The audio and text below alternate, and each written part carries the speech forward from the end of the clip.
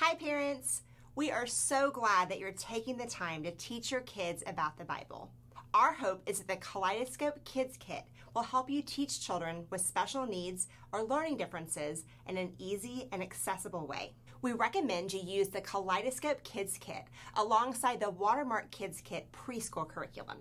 Follow the steps and use the tools below to teach your child the Bible story each week. Then reinforce what they're learning through multisensory activities such as music, movement, and coloring.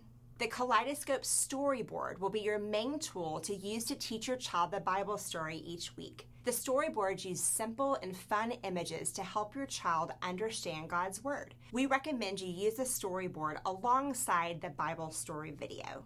We also encourage you to challenge your child with special needs to memorize the Bible verse right alongside their brothers, sisters, and peers. The Kaleidoscope memorization tool uses the same fun and simple images to help your child memorize the Bible verse. Take as much time as you need as you memorize.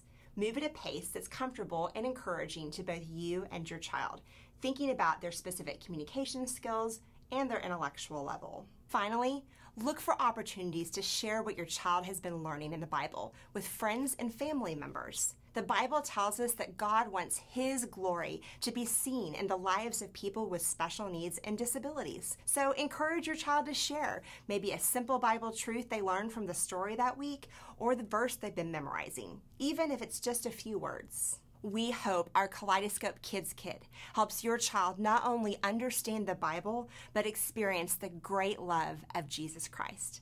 Thank you, parents.